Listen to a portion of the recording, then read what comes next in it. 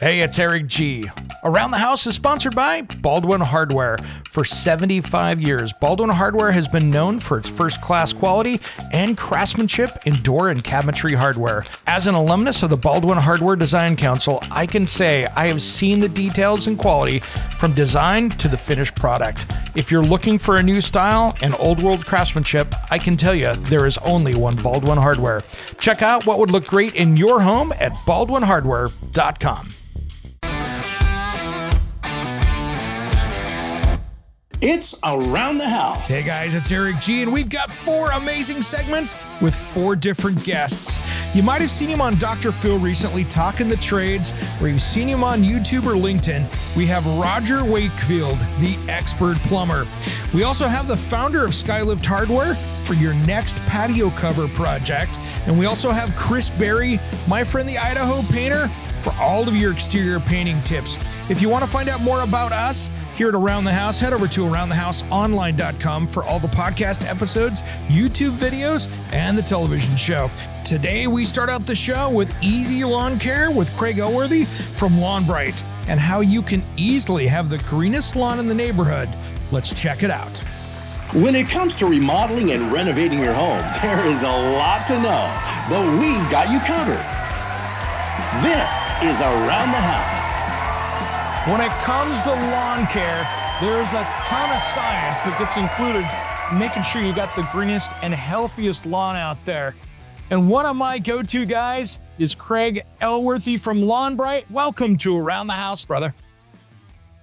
Yeah, Eric, thanks for thanks for having me out again. It's great to be here. Great to see you. And you guys have got this amazing service, which really walks people through how to get the greenest and healthiest lawn. Yeah, we do. We do. And it actually, it all starts with, with a soil test. So we are very much uh, in the camp of knowing what's in your soil, knowing what's underneath uh, the lawn is, is the, the key uh, to actually having and establishing a healthy turf stand. So yeah, we, we walk them all the way through. All our products are um, all liquid and you really just need a hose uh, to just spray on the applications when you deliver uh, during our temperature season. Man, that is great. And I noticed you got a lot of organic stuff going as well. We do, yeah. A lot of our a, a lot of our products are OMRI certified, so you can use them on organic crops. All of our products are natural, uh, so there's no harsh chemicals. And we make the ingredient products where we are not going to use anything where your kids and your pets aren't safe to go on the lawn really immediately right after the, the treatment. Man, that is great. And uh, you guys are really growing each and every year. I jumped on your website since the last time we talked, and you have so many more things for everything outside. Yeah, we added we added a, a, few products actually in the last year, and really it, a lot of it's due out of customer requests. A lot of people are asking, "Do you have grass seed? Do you have something for this? Do you have something for ticks and mosquitoes?" In previous years, the answer was no, right? But we've looked into it. We took the approach: Can we do this and still maintain our core beliefs, right? Can we do this naturally? And the answer with a lot of the products we added was yes, we can. I noticed a lot of people out there right now that are paying for lawn services. They pay for the X plan, and I'm just going to make up a, a name right there. But they come out, somebody rolls out, they there's no soil test done. They pull out a real hose, they go over, they spray the lawn, or they apply something and then you see them next month or next quarter. You guys have really based this on the science and have got your own DIY lawn care program, which to me seems a lot more science based than uh, some of the subscription models that you see where people are showing up on your door each week. Yeah, and, and, that was a big part of it too. We wanted to make sure that certainly it needed to all be you know safe um, for people to use, but you also need to get results as well. So we did, we, we were focused on making sure that um, you had a test kit and you knew what was going on in your soil. But then we also found that a lot of people were you know, very comfortable with the idea of doing this themselves as long as they had the right guidance, right? So they didn't really know anything right about dethatching or when the right time was to do it or when the right time is to irrigate, how long.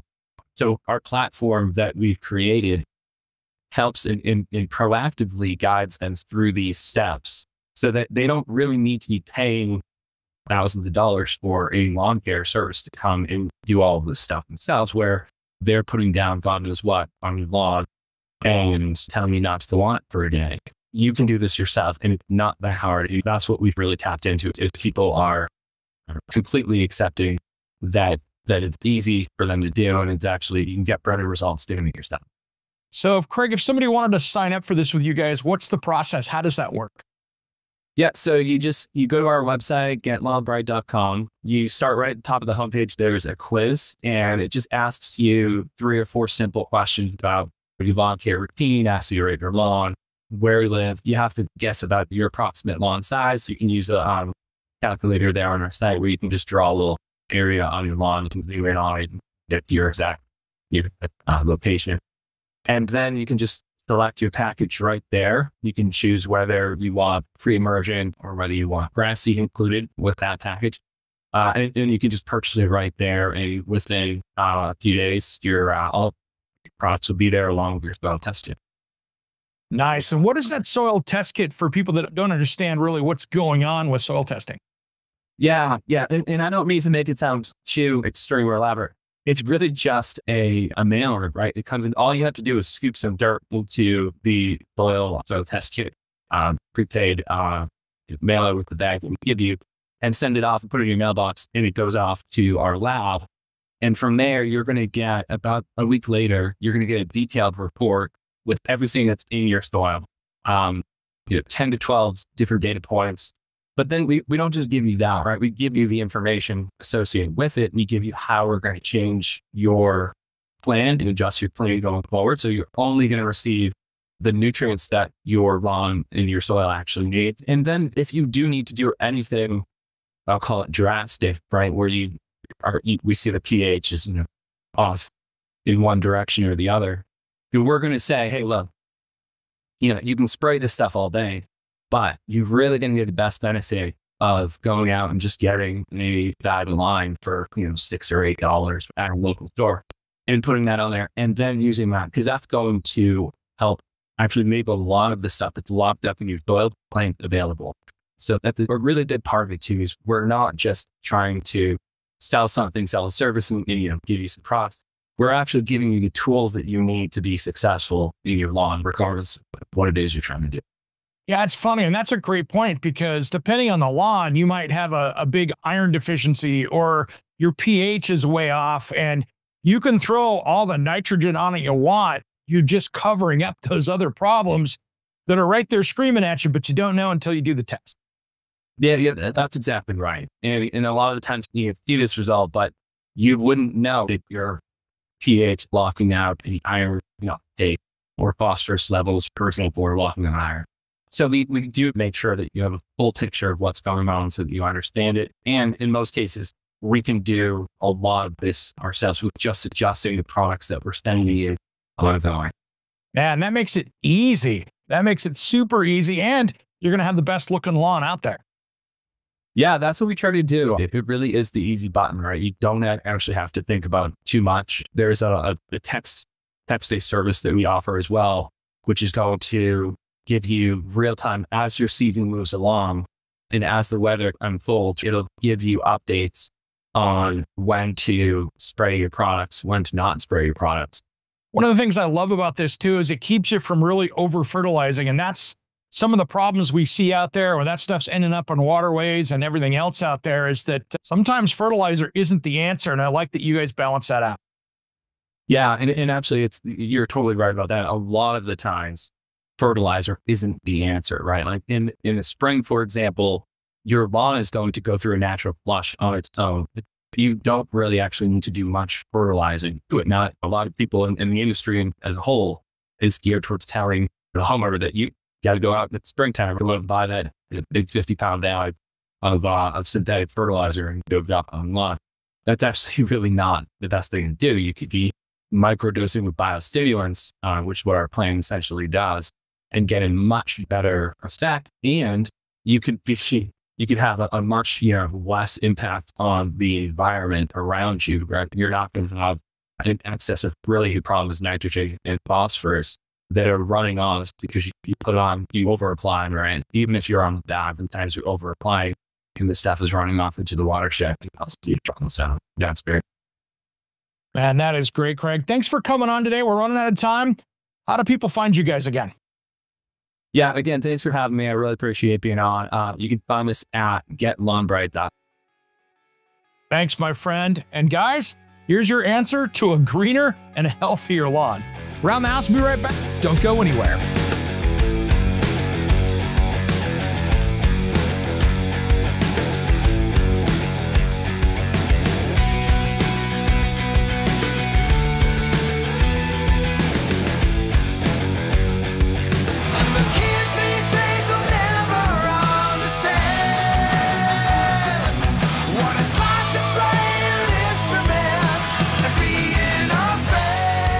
What's up? This is Stix Zadinia. And Satchel from Steel Panther. And you are listening to Around the House with Eric G. Yeah. We love Eric G, and you should too.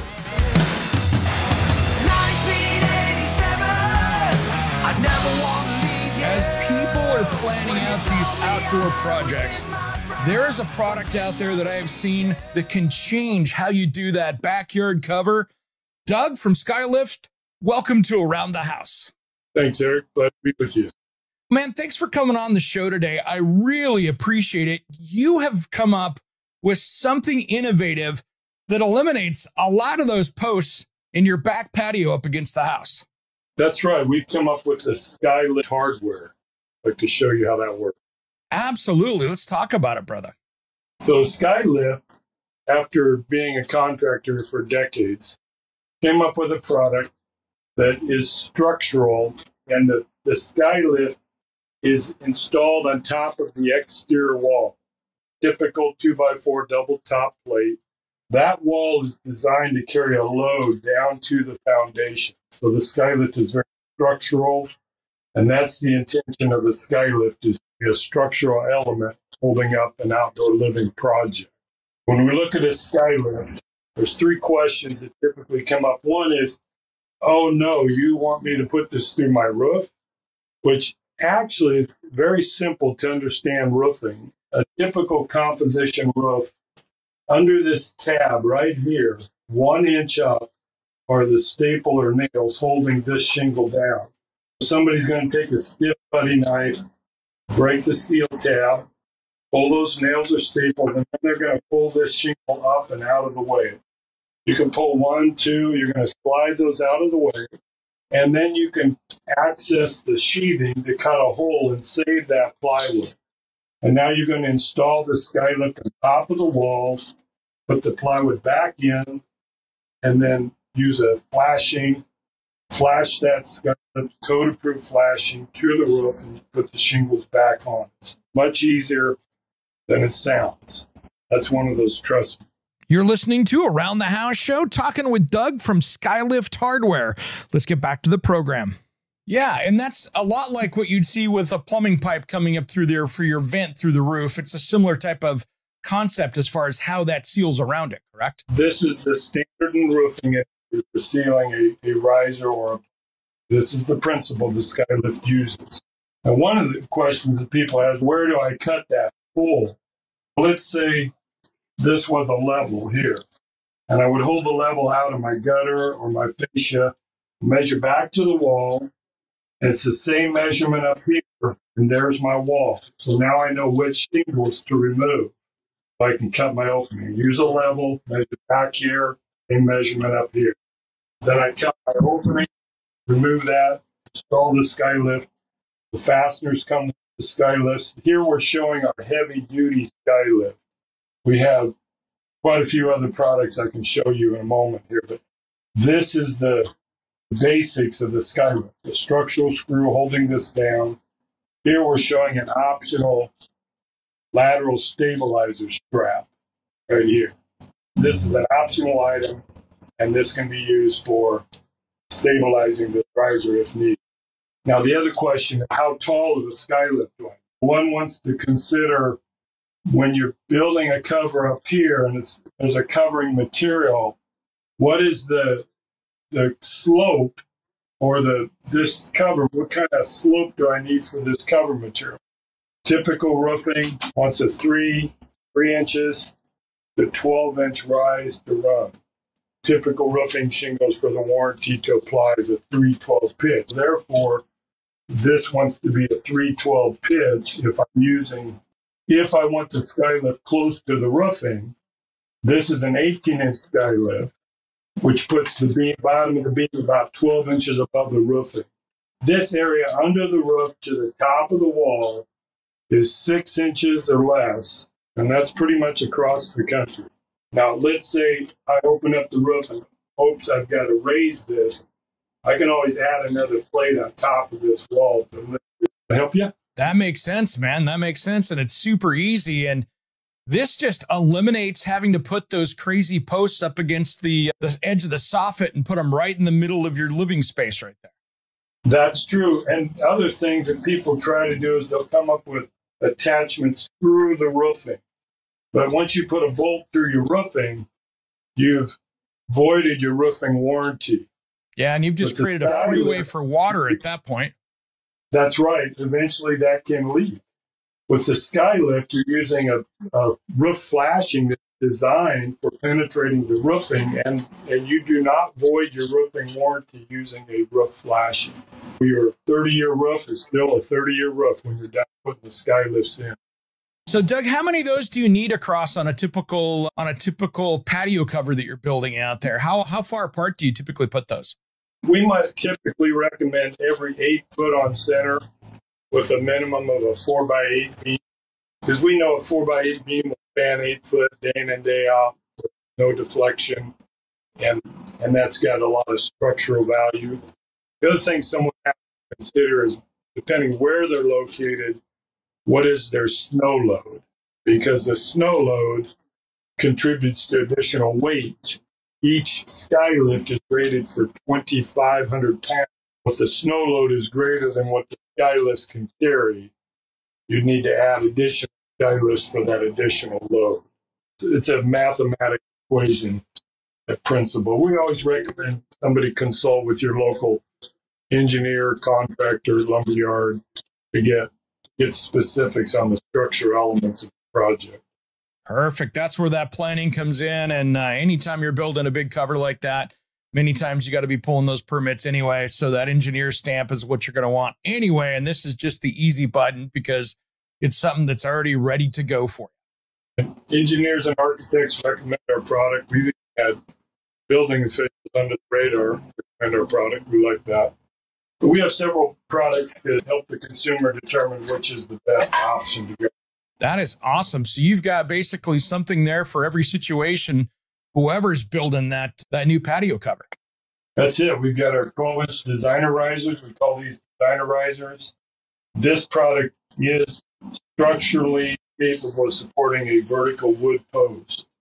Most people will stick a beam right in here, and that puts it beam within six inches of the roofing. They like this product. It's our standard duty. It's an inch and a half riser got four fasteners holding this down. And then we have our 18, 24s. We have 30 and 30. These can be trimmed. We don't encourage that, but people do trim these risers down. Got it. That makes sense. So I guess the million dollar question is for these people out there, how do people find these?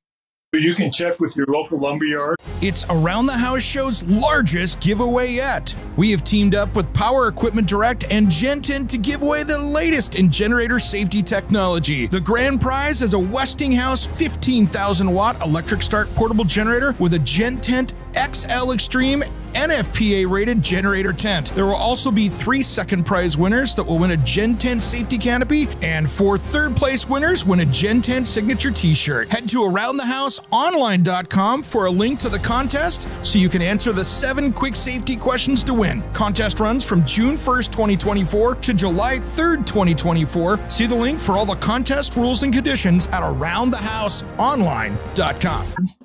Skylifts can be ordered online. Skylifts can be obtained through your local roofing supply dealer. Skylifts are recognized throughout the Northwest as a, an above the roof attached patio covers and outdoor living projects. Doug, thanks for coming on today, man. I really appreciate it. I love what you're doing here. This is such a smart way for building that patio cover. I love it. Thank you, Eric. Around the house, we'll be right back. Don't go anywhere.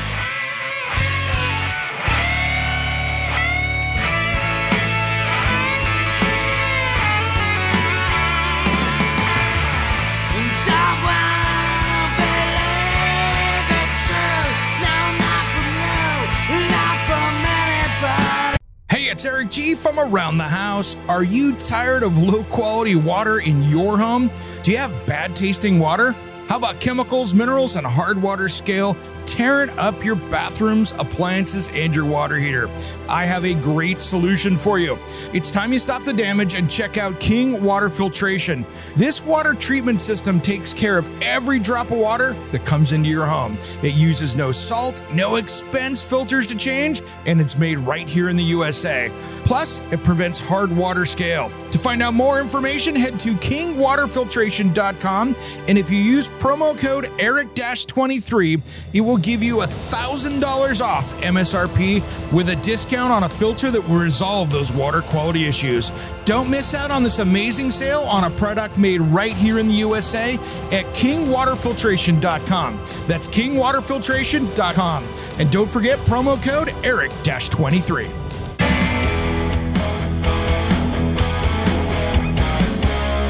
Hey, this is Ron Keel, the Metal Cowboy from Keel, the Ron Keel Band and Steeler.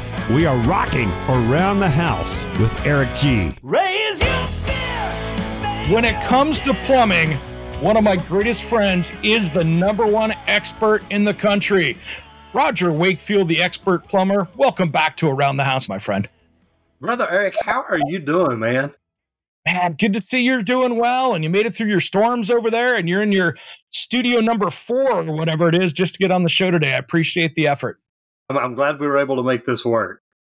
Thanks, man. I wanted to ask you there's such confusion out in the marketplace for homeowners and even contractors out there about just using the right plumbing fittings for the project because so many people walk into the home improvement store and go, okay, that will work. And they really don't know the application. Mm-hmm. What are You your see it a rec- lot. recommendations for Um, that? Well, and and here's what I like to tell people Eric, is, is I like to put in what was there most of the time. Now, if it's if it's a water leak, something like that, say, say y'all have a big freeze. Say it gets down colder than it's ever gotten, longer than it's ever gotten, and you're like, look, I need to put this together right now just to stop a flood or to get water back on for this family so I can go help somebody else. I understand using temporary fittings. And I think that a lot of these fittings are temporary. If you can put it on and take it back off, to me, it's a temporary fitting. If you can cut it apart and reuse it, it's a temporary fitting. But me, I, I look at, I love a solder joint. I love a braze joint. I love putting something together that I know is going to last. It's never going to be a problem. I'm never going to have to come back to it. And I see people put these fittings, push to connect fittings, things like that together in areas they're never going to be able to get back to. And I'm like, guys, that's just not the right thing to do. Especially when there's like O rings and things that eventually are going to dry out and fail. And then you've got a hidden water leak. And, and the, the EPDM is what a lot of these are made of, which is great. But I've worked in industrial plants where we've had to come back and change those because they do fail. And then my the other thing is the the stainless steel, the the the pressure to squeeze it, or when you push it together, the, the teeth lock in, and movement over the time is going to make that loosen up and possibly leak. Yeah, I've had them come off of uh, CPVC before and create tens of thousands of dollars of damage on job sites where they thought it was the right thing to do. And that was a licensed plumber that did it. Said, I'm going from CPVC to a PEX product. It was installed correctly. It just slid right off the pipe and didn't grab a hold of that plastic. And I've seen that. The ones that really scare me, and, and Eric, I talk to a lot of plumbers every day. I've got plumbers that reach out to me and tell me their plumbing company will not let them make a solder joint any. They're not even allowed to have a torch on their truck. And I'm like, are you joking? But that's the way they're being taught nowadays. Push to connect, expansion fittings, PEX press fittings. There's a lot of different opportunities out there. And I think a lot of these companies are doing it because it's pretty easy. You could train a third grader how to push together those fittings. Snap lock puzzle. So they're doing that and they're tur training them to do that. And then they're cutting them loose out on a job. And that's all they know how to do. It's scary to me. You opened my eyes up when you did your test, pressure tests on these fittings. And some things that I thought would be number one weren't. Of course, the solder joint just crushed it like you'd expect it to. But even some of the press connected fittings, I was like, oh, that didn't do as well as I thought it would. Yeah, and, and it's interesting to see, and it they tend to do different on different materials. Mm-hmm. Some of them may hold up pretty well on the copper. Some of them may hold up better on the PEX. But the good thing about it is, and, and remember, the, pressures that we were blowing apart at were way over what True. you're ever going to have on, on, city water, and we know that. And, and, that's a lot of things that a lot of plumbers complain about. They're like, Roger, the, the pressure is never going to reach that level. Okay, at the end of the day, I want my plumbing built with the very best product. And, and to me, the, the one that holds the most pressure that I know I'm not going to have to worry about if it's installed properly is copper line with a solder joint or a braze joint. And we don't braze that often. No. When we went and tested the, the last test we did, we tested a braze joint versus a copper joint or a solder joint and the copper busted on both of them. We couldn't even get the joints to blow apart. So that's telling me, look, that this works pretty well. Yeah, and you know something I think that does tell a story though, because what fails first? Whatever fails first typically is going to be the weaker the connections. And you were doing these in a perfect situation. It wasn't in some weird off angle that you usually see in construction, right? Where you're just, I got enough to make this work to get this in there. And you're hoping you got this. You can't even get a mirror back behind that fitting, but you're like, ah, my experience says I got this soldered in correctly. But you had a perfect situation. And so it tells you what's the stronger of those. I think it still tells a great story of what's the best to use. And we, we built that. It's a stainless steel blast chamber. We drilled a hole in it to make the penetration and put a bulkhead fitting in. So we can attach pretty much any assembly that we want to that. And I think we built it about 18 inches by 24 inches. We put a half inch thick acrylic lid on it, which is good because we've blown some stuff up in there. And I like it because we've got a gauge on the hydrostatic pump. We also installed a digital gauge on the hose coming in so we can double check our, our numbers to make sure things are right. And it is, it's a safe environment. We didn't just put it in there and say, look, let's blow it up and see if anybody gets hurt, and then we'll find out how to protect people. So it, it is, it, it's a good installation, and it is just testing what we're trying to test. Everything else we've got put together with stainless steel threaded joints. We, we know that's never going to rupture. We've yep. got a, thou- a 10,000 psi hydrostatic pump and hose on that. So w- we've got a safe facility and, and apparatus to do the testing in.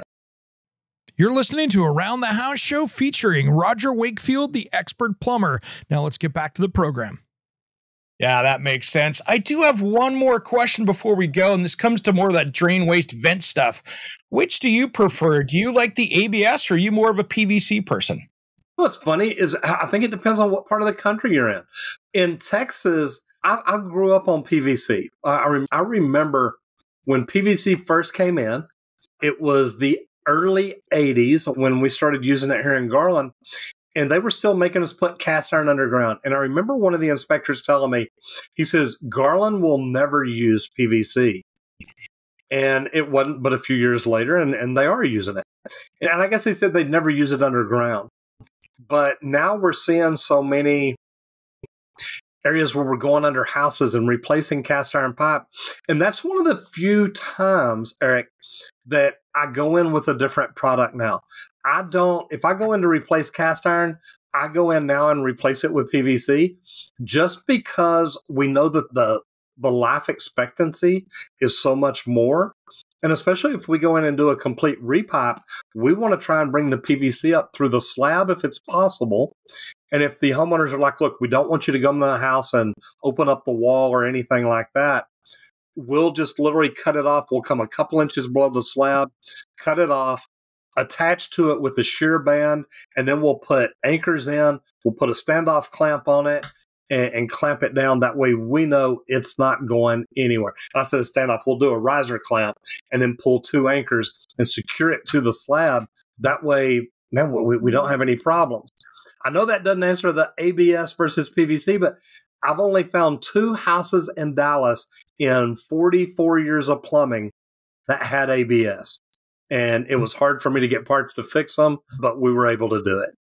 Yeah, out on the West Coast, we are a huge ABS community out here as far as what we see, but fittings are so much, and the pipe is so expensive compared to what it was a couple years ago. So I think a lot of plumbers now are going, that PVC fittings are third of the price. So I think that's been another thing that people are starting to look at when it comes to job cost. And it's just like the push to connect fittings. When you're paying all that money for a single fitting, I get it for temporary, but if you're going to knock out a big project, cost plays a part of this.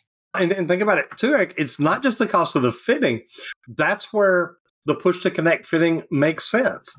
If I can take two pieces of pipe that are prepped and ready to go, and I can put a fitting and boom, press it together, and that takes me five seconds.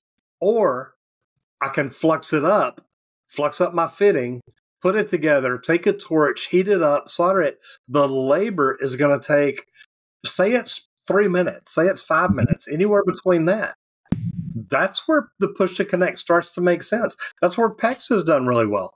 With yeah. expansion tools, you can put them together faster than you can make a solder joint. So where you're maybe spending just a little bit more on the materials now, you're spending quite a bit less on labor, and that's what makes it all worthwhile. Man, that makes sense, Roger. Thanks for coming on the show today, brother. I really appreciate it. Where can people find you and get all your great information? Man, they can connect with me on LinkedIn. Of course, they can go to YouTube and search plumbing. Or if they're in the trades and they want to find out how to get better at either getting in, becoming a better tradesman, starting their own business, or growing their own business, we are releasing the Wakefield app. So they can go to www.wakefield.app and check it out for free. It is a great app, Roger. And thanks for coming on the show today, man. I really appreciate it. Can't wait till next time. Thank you, Eric. Round the house. We'll be right back. Don't go anywhere.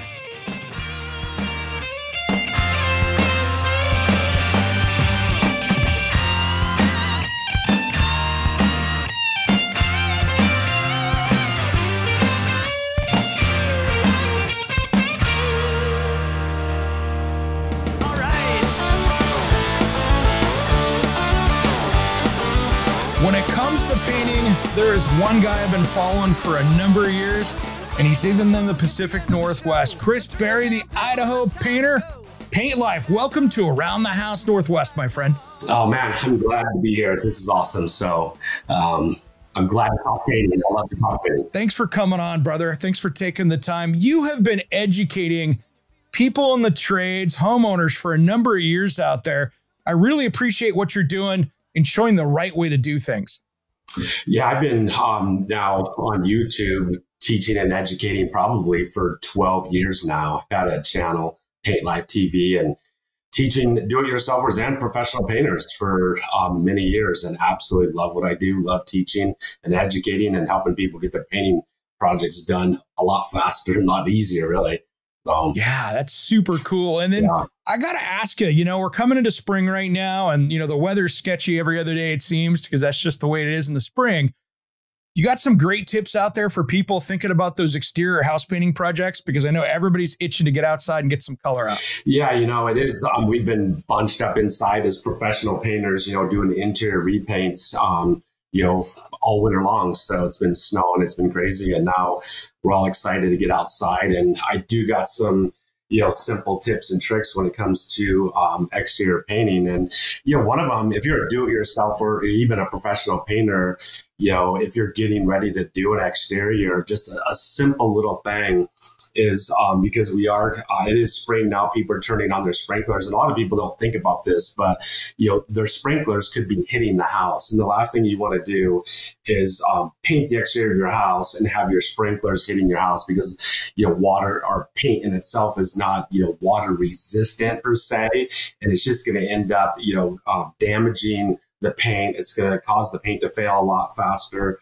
It co- could cause blistering and bubbling too. So I think it's something pretty common. We see um, sprinklers hitting houses all the time. So make sure uh, do it yourself or have a sprinkler guy come out and check your sprinklers. Make sure they're not hitting the house. And um, for one thing, after you put a fresh coat of paint on it, if the sprinklers hit them right, hit the paint right away, it could get underneath there and could cause um, start causing water damage, dry rot, all kinds of thing, all kinds of problems. Another thing is people don't think about is their gutters, gutters and downspouts. You know, if you got clogged gutters, um, clogged um, downspouts. They could be overspilling, could be splashing on this on the side of your house. Last thing you want to do is paint your house and have it damaged by water. So if you don't have gutters, you probably should get gutters on your house because it, it does protect the paint. So it does protect that house. Oh man, if you don't have gutters, all it has to do is that water comes running off that roof right there on the drip line, and then all of a sudden, all the landscape bark, dirt, whatever is all up in the front of the house, yeah. and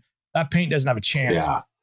Yeah, so those are you know a couple just simple things before you start painting. Another thing, this is um, something that's pretty interesting. Not a lot of people know about this, and this is kind of a pretty cool um, little tip or hack. There's a product we've been using for years called bug juice, and it's an insecticide. You just actually add it to the paint, and we started using it probably you know 15 years ago or maybe 20 years ago. And you know the last thing you want to do is paint your house, have it all freshly painted, and then you know a year later have um, where all your soffit lights or, or lights are in your house have spider webs and bugs all around those lights. You know, and it just kind of makes your house look aged. You know, pretty quick bug juice kills flying and crawling insects, you know, that land on your house. It'll kill ants, it'll kill flies, mosquitoes, um, spiders. The product lasts in the paint. We've seen it last over five years, about five to seven years in your paint. It's an absolutely amazing product. You just add it to the paint while you're painting and it's going to kill bugs. It's absolutely amazing. It's an EPA um, friendly product that you can use inside and outside. Pretty cool stuff. Man, that is awesome. I got to ask you one of the common, I don't know, it's a controversial subject out there, so I'm going to ask it anyway. What do you think of paint and primer in one? You know that that's a good question, and that's um, I think it goes all the way back to uh, Behr Paint. Behr Paint was, I think, the the first paint to ever create a paint primer one, and Behr Paint was primarily a do-it-yourselfer paint, and it was do-it-yourselfers were creating this demand for a paint and primer one. Um, I think you know back then, you know, they're just really um, it, was and there hasn't been, you know, really a paint and primer one. I know I've used, um, you know, some recent products nowadays, you know, that are classified paint and primer ones um, on exterior, um, you know, houses, and they are good products, but you're never going to you know, have a situation where you really need to prime something and have a paint primer one be better than an actual primer. If you're dealing with bare wood, if you're dealing with, um, you know, substrates that, you know, are failing, primers are always going to be your best bets. Um, you know, if you have a house that is in good sound condition, that doesn't have any scraping, bare wood, um, any failing, you know, uh, paint, um, chalky surfaces, a paint primer one, you know, can be okay, but as a professional, if there is areas that need to be a primer, I'm not going to be using a paint primer one as a primer. I'm always going to turn to a primer first and then top coat it with, you know, a lifetime warranty painter that or lifetime warranty paint that could be classified as a paint primer one. Nice, man. That is great advice because yeah, it's uh, it might cover a little better, but uh, primer is just the way to go. Yeah, it, and you I think too, this is another thing when it comes to um, painting, and you know, uh, this is a tip, you know, for do-it-yourselfers and you know, professional painters understand this. You know, don't ever try to go um, cheap in paint. You know, paints are classified basically by the year uh, warranty, so you could have like a five-year warranty, fifteen-year warranty, twenty-five-year warranty, and a lifetime warranty. You know, almost my entire career, I've always used used lifetime warranty paints. And there's a reason you really do get what you pay for. You know, lifetime warranty paint is, it's to um, be a lot less splatter. You're spraying, it's to be a lot less overspray. It's to have superior coverage, which is actually to, you know, end up paying for itself in the end. And then it's to actually last longer too. So you're to have to repaint your house, you know, in, um, you know, less time or more time, should I say, it's going to last longer using a lifetime warranty paint. So, you know, the headaches that come with um, inferior paints are just not worth the money. So, you know, if I can, you know, suggest anything, you know, to do it yourselfers, you know, try whatever company you're using. They all have grades of paint. I definitely would use a lifetime warranty paint. Yeah, great advice. My experience in the past as well is the most expensive mistakes I've made was buying cheap paint because I ended up having to buy more of it to cover. And I would have saved the money if I'd have just bought a better quality paint and it's going to last longer. When yeah, I think that that's the, the, the two things is um, it's so frustrating to have the paint drip and splatter everywhere. And cheap cheap paints um, drip, create splatters everywhere that are just an absolute headache. But you, like you said, the coverage you get way better coverage uh, with the life with a lifetime warranty paint, and that just means you're just gonna less coats. Typically, you know, um, one of the paints I experimented with this last summer was a product from Behr, and it was their top of the line um, lifetime warranty paint Dynasty covered in one coat. It was absolutely amazing. There are certain colors, you know, um, they have in their line that are guaranteed one coat coverage paints. And typically, I would say there is no paint on the planet that covers in one coat. I've never, even though they claim they have, but um, that paint I use, it did actually cover in one coat. is absolutely amazing. You know, um, you're only as good as your prep. And, um, you know, I'm going to, I'll start off by talking about caulking itself. And, you know, we caulk a lot of stuff on the exterior of a house. You know, we're going to be caulking soffit vents. We're going to be caulking windows. We're going to be caulking all the nail heads on the house. And, you know, we're typically doing quite a bit of caulking and priming, but caulking, you know, we'll just stick with this topic. Um, caulking is like You know, um, the paint itself is going to pay for itself. It's going to, you know, pay for, you know, the length of um, the product that's going to last, you know, for years. A caulking is just like, you know, if you buy a 10 year warranty caulking or a 15 year warranty caulking, it's probably going to crack. It's not going to split, um, or it's probably, it's going to split from the surface, you know, pretty, pretty soon and pretty quick. We've seen, you know, inexpensive caulking um, on houses you know, we've caulked, you know, crack the next year. So better caulking use on products from Tower, like Tower Tech 2 or Big Stretch, it bonds way better to the two, you know, edges that it's um, it's coming in contact with. It has more flexibility. It stretches more. It doesn't dry out. And in the end, you know, your caulking is sealing your house from water. It's sealing your house from air. It's sealing your house from bugs. And if that caulking fails, you know, even before your paint within a couple years, it's just going to let all those um, elements and stuff in your house. So, you know, I always use lifetime warranty caulking and sealants, just like I use lifetime warranty paints. Nice, man. The big stretch is what I switched over to a number of years ago, and that changed the game for caulking. Yeah, it's a game changing sealant. It's, you know, uh, cheap sealants don't what we call tool well, so they're hard to manipulate. They're hard to get a smooth bead. bead. They dry too fast. I mean, big stretch tools, amazing. And um, the capabilities, the flex capabilities and the stretch capabilities of it is amazing. I've never had big stretch ever fail on a job that I've ever used, that I've ever painted before. That says a lot, brother. We're running out of time. What's the best way to people to track you down? Because man, you are educating the world out there in painting. Yeah, you know, I, I love to teach and educate. You know, um, do-it-yourselfers and professional painters. You can find um, I got seventeen hundred videos on YouTube about painting. My YouTube channel is Paint Life TV. You can find me teaching and educating on Facebook, the Idaho Painter, Instagram, Idaho Painter, and TikTok. We do have a store, um, an online store and a retail store in Boise, Idaho. My online store is paintlifesupply.com, where we sell all the tools necessary to do all your interior and exterior painting. That's where I get my tools, brother. Thanks for coming on today. I appreciate the wisdom. Oh, man, it's been um, awesome being here. Love to teach and educate. I'm Eric G, and you've been listening to Around the House.